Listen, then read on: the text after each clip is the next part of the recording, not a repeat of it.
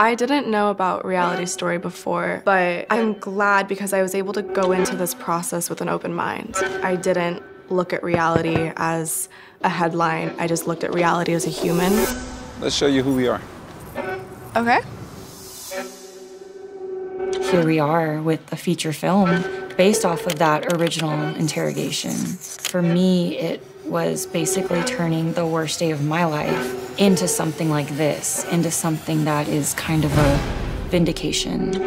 This is about uh, possible mishandling of classified information.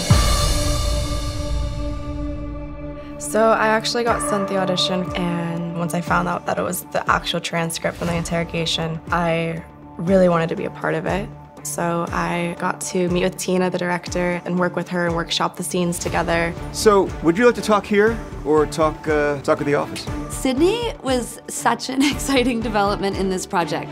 I, of course, had seen Sydney on Euphoria, and I'd seen White Lotus, and I was a fan, but it was getting to talk to her, and she was so real and warm and super smart, and had taken in who reality was already.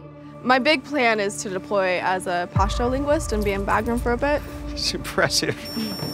Her tight knit family with her mom and her sister. Sydney really had references to that in her own family. It was that conversation that first made me um, think this person has a heart for this that's really right and, and gets something intrinsic. We have a warrant. Would you like to see it? Yes, please. Okay.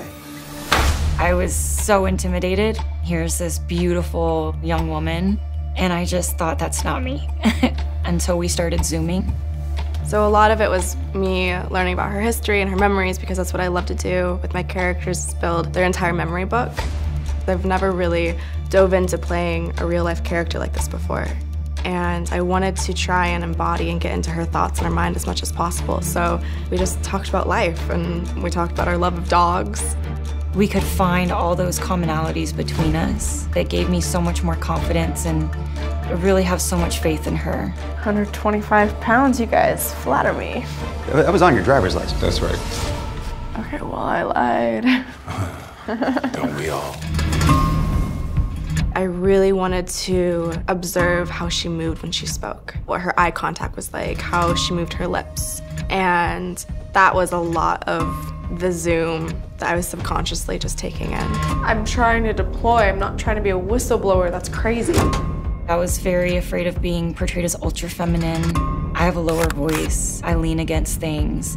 Essentially, the performance is a long form emotional close up. What Sydney is doing to slowly like move that emotional needle for this character, like in little cheek quivers, it's incredibly powerful and moving. Am I going to jail tonight? We'll cross that bridge when we get to it, okay? That's what I loved so much about this movie and about Tina's work because she allowed the camera to just observe my thoughts and my feelings and my eyes and allow whatever was happening in that situation to move my performance.